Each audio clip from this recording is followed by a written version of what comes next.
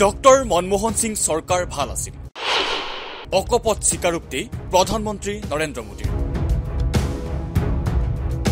আপুনি শুনিছেনে যে কেতিয়াবা প্ৰধানমন্ত্ৰী নৰেন্দ্ৰ মোদীয়ে পূৰ্বৰ প্ৰধানমন্ত্ৰী ডক্টৰ মনমোহন সিং চৰকাৰক প্ৰশংসা কৰিছে আপুনি শুনিছেনে যে প্ৰধানমন্ত্ৰী নৰেন্দ্ৰ মোদীয়ে পূৰ্বৰ কংগ্ৰেছ চৰকাৰৰ আঁচনিক প্ৰশংসা কৰিছে?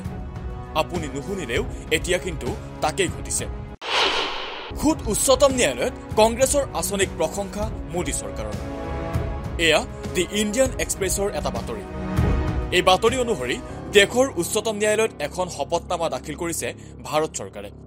এই শপতনামাত ভাৰত চৰকাৰে কৈছে দুহেজাৰ তেৰ চনত ৰাষ্ট্ৰীয় খাদ্য সুৰক্ষা আইন বলবৎ হোৱাৰ পাছত দেশৰ জনসাধাৰণৰ জনমূৰি আয় তেত্ৰিছ দশমিক চাৰি শতাংশলৈ বৃদ্ধি পাইছে।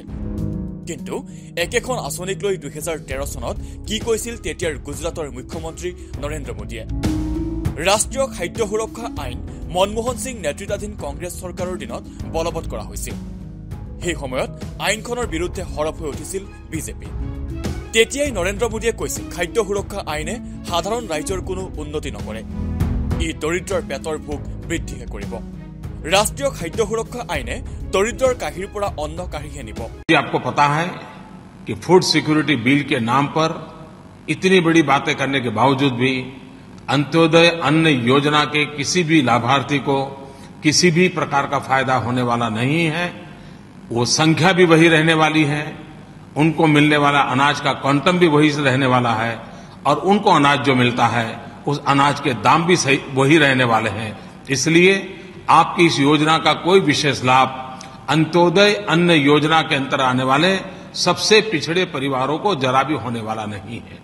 उसी प्रकार से आपकी इस योजना के कारण बीपीएल परिवार के पर कितना बड़ा नया बोझ आने वाला है। आपके इस ऑर्डिनेंस के कारण, आपकी इस योजना के कारण गरीब की थाली से आप किस प्रकार से रोटी छीन रहे हैं? সেইজন নৰেন্দ্ৰ মোদীৰ চৰকাৰে এতিয়া আদালতত শপতনামা দাখিল কৰিছে। শপতনামাত কৈছে দুহেজাৰ তেৰ চনত ৰাষ্ট্ৰীয় খাদ্য সুৰক্ষা আইন বলবৎ হোৱাৰ পাছত দেশৰ জনসাধাৰণৰ জনমূৰি আয় তেত্ৰিছ দশমিক চাৰি শতাংশলৈ বৃদ্ধি পাইছে। এই আঁচনিৰ দ্বাৰা সমাজৰ এটা বৃহৎ অংশ উপকৃত হৈছে। উচ্চতম ন্যায়ালয়ত ভাৰত চৰকাৰে এই শপতনামা দাখিলৰ পাছতেই সৰব হৈ উঠিছে কংগ্ৰেছ। কংগ্ৰেছ নেতা জয়ৰাম ৰমেশৰ টুইট ৰাষ্ট্ৰীয় খাদ্য সুৰক্ষা আইন বলবৎ হৈছিল দুহেজাৰ তেৰ চনত। তেতিয়া এজন মুখ্যমন্ত্ৰীয়ে এই আইনৰ বিৰোধিতা কৰিছিল।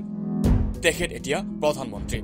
তেখেতে এতিয়া উচ্চতম ন্যায়ালয়ত সেই আইনৰ উপকাৰিতা সন্দৰ্ভত শপতনামা দিছে। জয়ৰাম ৰমেশৰ আন এক টুইট মোদী কেৱল ফেকু মাষ্টৰেই নহয় ইউ টাৰ্ণ উস্তাদো।